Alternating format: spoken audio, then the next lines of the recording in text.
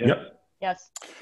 Great, thanks. So essentially, we're um, as the kind of curators of the the OpenHIM, um, which is a kind of interoperability layer, supports data exchange interoperability.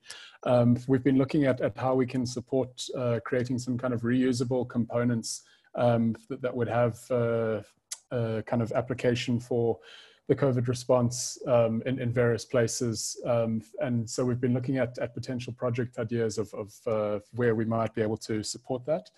Um, essentially, we're looking at uh, mediators, which is the kind of functionality that's built and, and applied on top of the OpenHIM, which really has all the kind of business logic for particular use cases.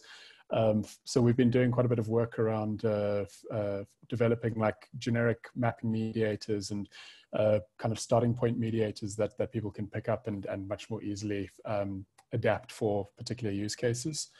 Um, so part of our uh, and, and OpenHIM's kind of response is there's, there's two uh, sort of ideas that we're, we're looking at. The, the one is kind of generic support for COVID-19 data exchange, um, and, and that would be looking at adapting a, a kind of uh, generic data model um, like that being published by the WHO or um, that's coming out of the, the OpenHIE um, COVID task force.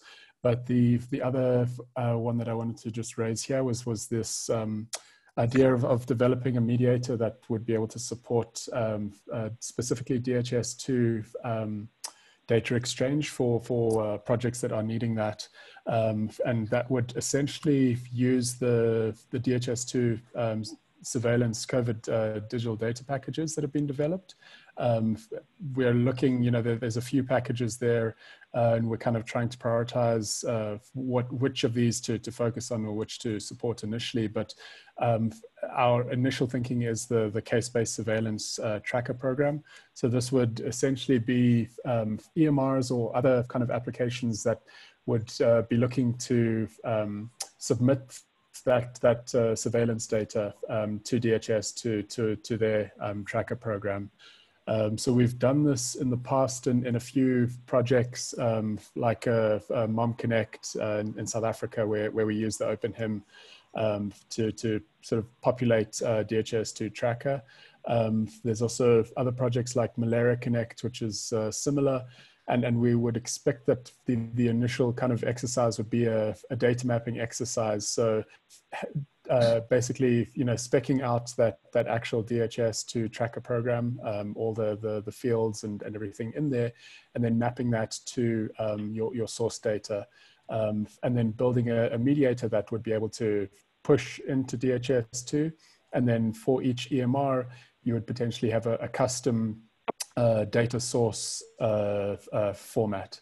So this could be, you know, it could be uh, kind of custom JSON. It could be, you know, OpenMRS API entities. Could be FHIR.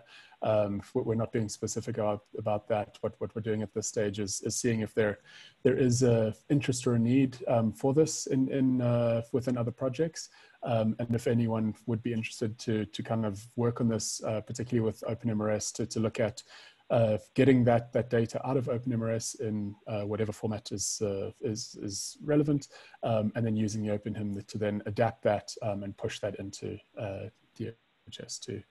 So that's the the summary of it. Thank you so much.